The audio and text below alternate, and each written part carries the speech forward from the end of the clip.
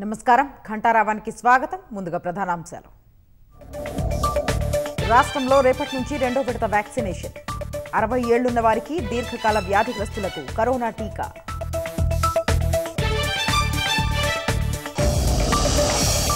హైదరాబాద్లో ఐపీఎల్ మ్యాచ్లు నిర్వహించాలని కేటీఆర్ విజ్ఞప్తి.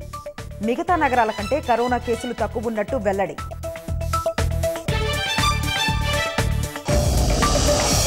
ఎమ్మెల్సీ ఎన్నికలకు జోరుగా అభ్యర్థుల ప్రచారం.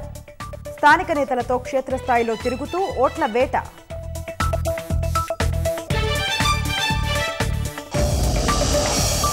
మన్ కీ బాత్లో రాష్ట్ర రైతుకు ప్రధాని మోదీ ప్రశంసలు.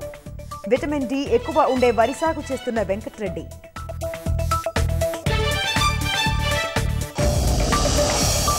వారసత్వ రాజకీయాల కారణంగానే కాంగ్రెస్ పతనం. సీనియర్లు పార్టీని వీడుతున్నారని అమిత్ షా విమర్శలు.